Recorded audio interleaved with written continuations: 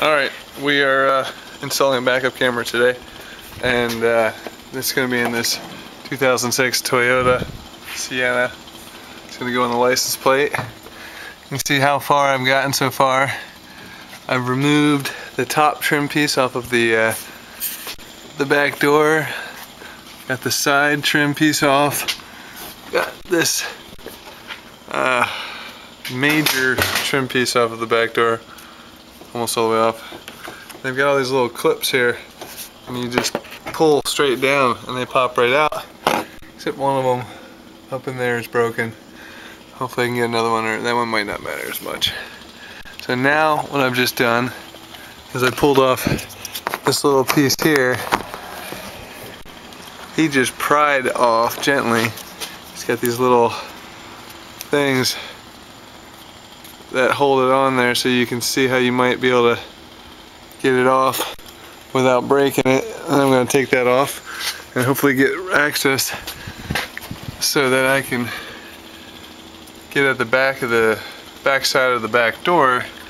I'm looking at trying to route it up through the, the lens. So I ended up taking the whole back panel off so I could get access to the back of that um, license plate light. I popped it out, pushed these two cords through, and then got it almost all the way back in and glued it. And you can see I need to put this cord back in place here like this. It's now it's back in, and I used a little Gorilla Glue. I did uh, do a homemade grommet around the opening with a tiny piece of duct tape but it didn't feel sharp anyway, and I feel like Alright, this video could be titled How to Remove the Overhead Console on a 2006 Toyota Sienna. There were two screws. They were uh, Torx screws. Number, oh, uh, I don't know, one of those sizes.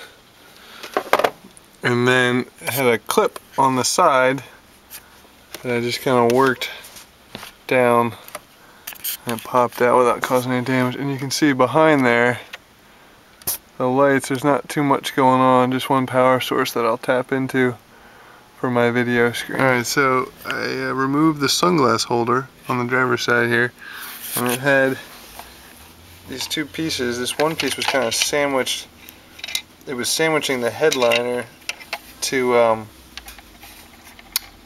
to keep it tight to the headliner and it uses a couple of these Torx screws. And it's even got a little sliding thing inside there.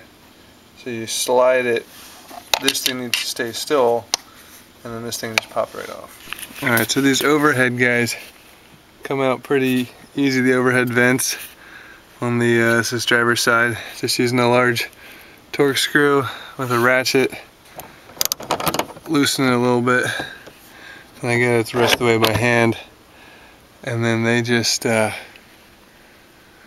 they've got these uh, wings that engage the headliner.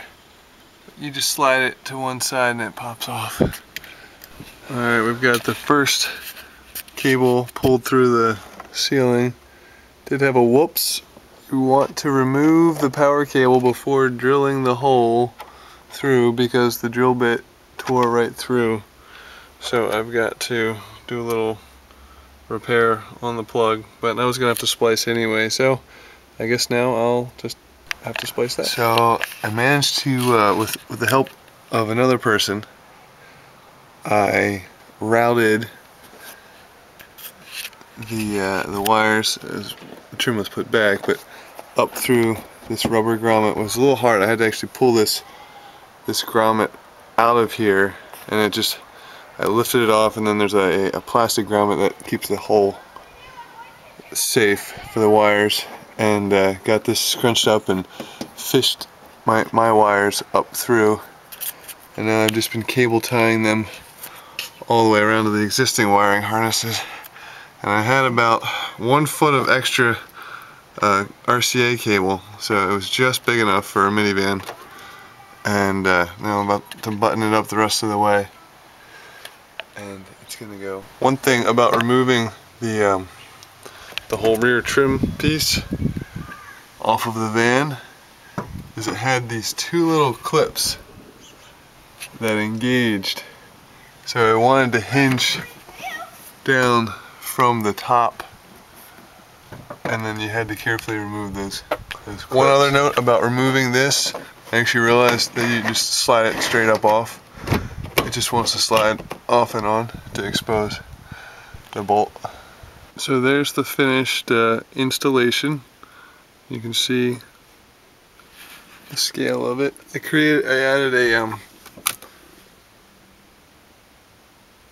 a block of MDF that I painted with a metallic silver to try to kind of match. Probably tan would have been better.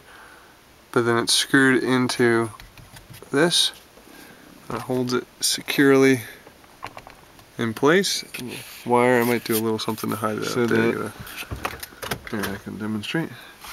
I just put the car in reverse.